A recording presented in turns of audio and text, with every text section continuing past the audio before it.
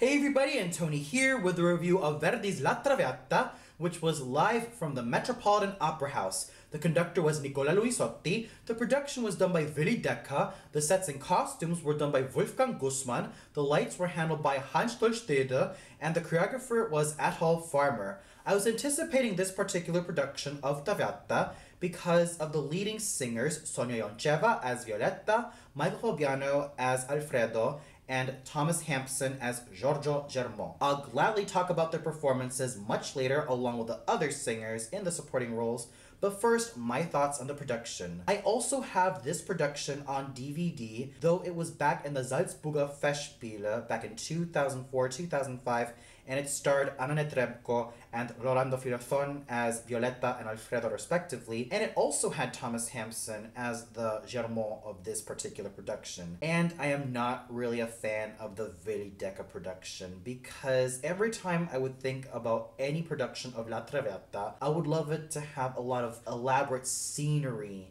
and a lot of style and elegance and beauty. But I think this particular production of Traviata basically shows the emptiness in Violetta's heart, and the huge clock on the stage basically shows that her whole lifetime is running out, especially for someone who is still quite young.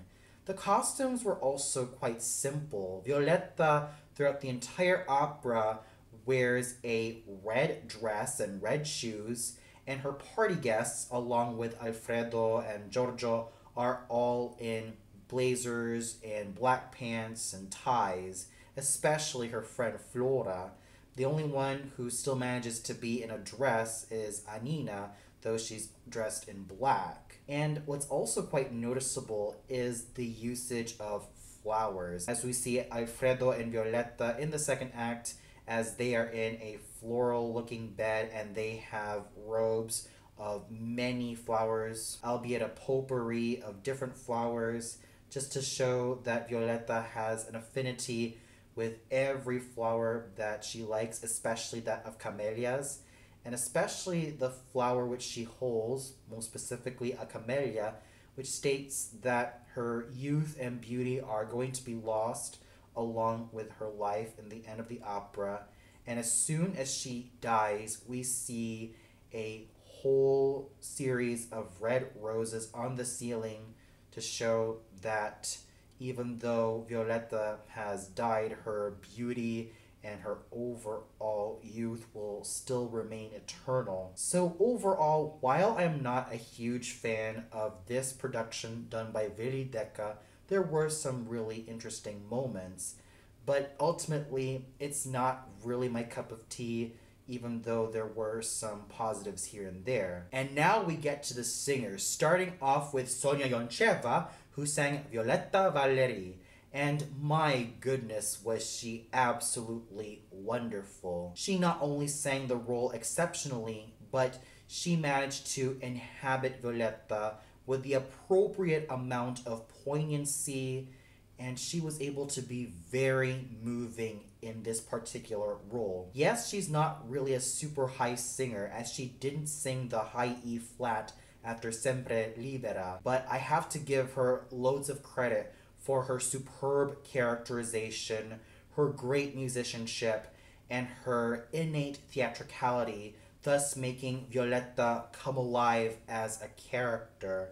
She was so poignant, so moving, and you could definitely feel the fragility she was able to give with this particular character and the exuberance she gives, even though it's mainly a facade for her crippling health and how she is almost about to kick the bucket as soon as the time runs out. She was able to inhabit this role superbly that I was completely glued to everything she had to offer. She sang everything exceptionally and she was able to give such a superb characterization, thus making Violetta very emphatic and very much someone whom the viewers can be involved in watching her journey from her life as a courtesan all the way up to her tragic passing at the end of the opera. She manages to have us, the audience, eating out of the palm of her hand,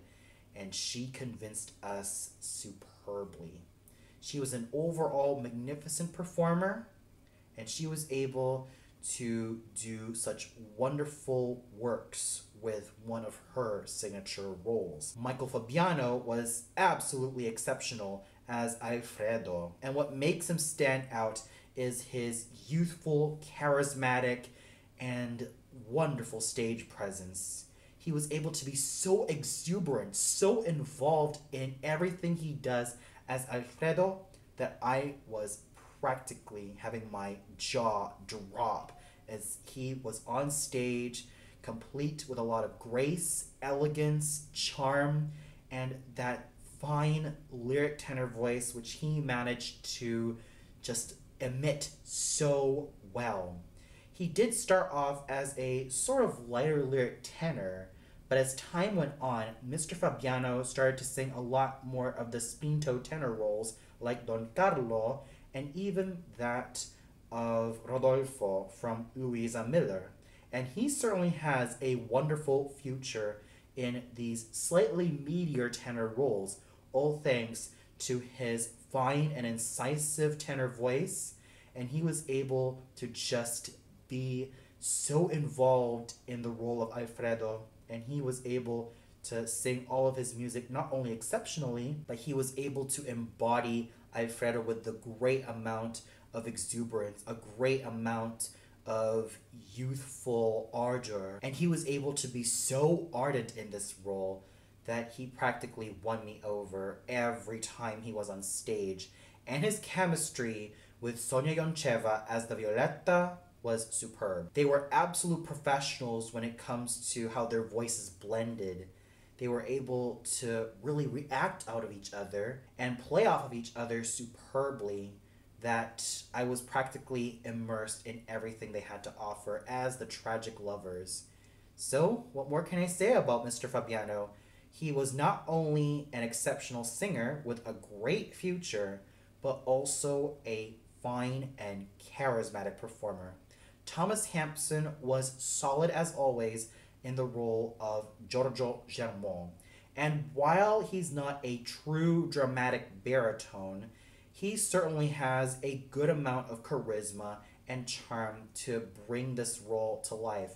He's been singing this role for a good amount of years, thus finding out a lot of nuances and a lot of facets which make this particular Germont come to life. And he did a fine job with his aria Di Provenza Mare Suol, and he did a fine job on his characterization, making him a struggling father who wants his son to be reunited with him and his family. And I could definitely see the pain in Mr. Hampson's eyes as he played the father Germont.